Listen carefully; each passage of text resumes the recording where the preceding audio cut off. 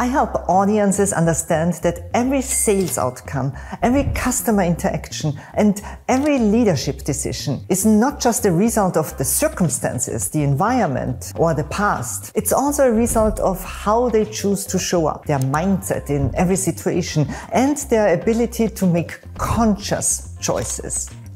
It's about being aware of how their choices impact themselves and others.